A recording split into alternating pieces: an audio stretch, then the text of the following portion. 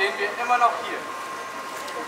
Nach drei Jahren sind immer noch Hunderte, Tausende von Jugendlichen, von Menschen auf der ganzen Welt unterwegs, um sich für das Klima einzusetzen. Ich kann mich noch ganz gut daran erinnern, als die ersten Demos hier in Deutschland waren, ungefähr Dezember 2018.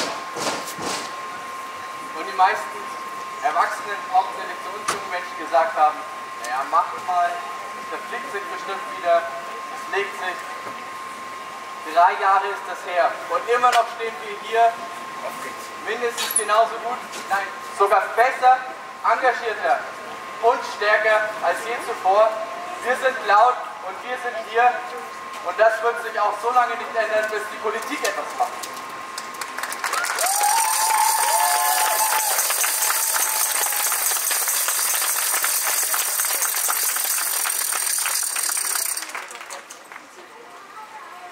Der Name von dem Mädchen war Greta Thunberg. Jeder kennt sie, für viele ein Idol, ein Vorbild, ja Queen könnte man sagen. Aber sie hat uns ein was Fundamentales gezeigt. Dass auch wir jungen Menschen etwas bewegen können. Dass auch wir jungen Menschen laut sein sollten, uns engagieren sollten. Damit unsere Ziele, unsere ja, Forderungen gehört werden.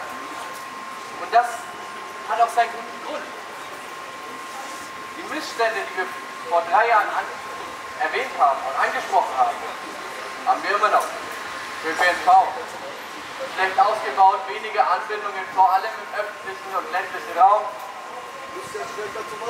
Preise, die sich Jugendliche wie wir teilweise nicht leisten können. Reisezeiten, die viel zu lang sind, um flexibel und klimafreundlich durch Deutschland und die Welt zu reisen.